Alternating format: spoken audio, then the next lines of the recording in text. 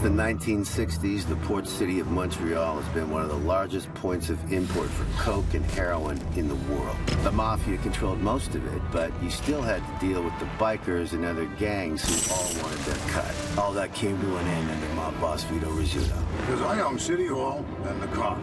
We're here to place you under arrest. Coming at us from all sides. Show them you're in charge. Taking care of my son. You're not the head of this family. He knows everything you Oh, looks so good. He plays mafia boss Vito Rizzuto's right-hand man in the new original event series called Bad Blood.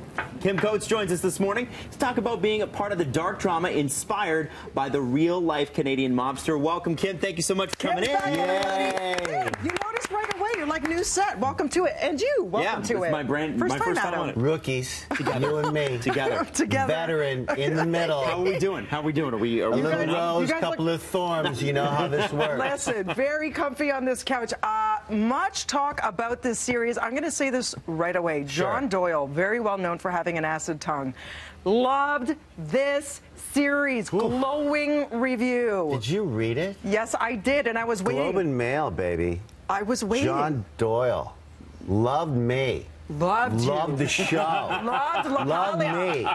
Loved the show. Who's saying? But no, he did. And thank you, Yeah. John. My next child is going right to you. Is that something? Very because sweet. listen, there is so much buzz about this. The fact that it is it is a uh, uh, a fiction based on fact story. So can I, can not. I help you out with that? Can you please? Inspired, by Inspired. true events, right, Mark Montefiore, my little producer over there, that sexy devil.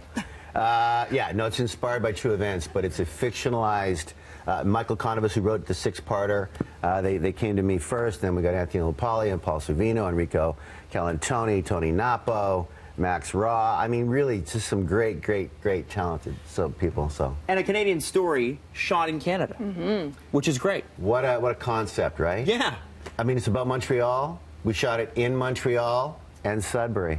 That never A little happens. Sudbury, Hollywood North now, yeah. Yeah, it's always something masquerading as another city. Yeah. So how great to actually immerse yourself. You know where all of these events loosely took place because Yes. again you're saying it's inspired, Inspired. by. Mhm. So it does go deep as many of these this genre uh, you know of crime drama does. It's not just about the violence and you know the revenge wars. It's also a lot of heart and. It leaves us basically, you know, to, to side good or evil, both gray. There's a lot of gray, right? These That's are these are these are characters that are.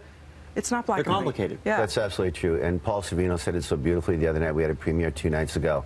And Paul Sorvino said that these, these stories are so uh, watched if they're good and well written and about family. And Yeah. this one, oh, there we go.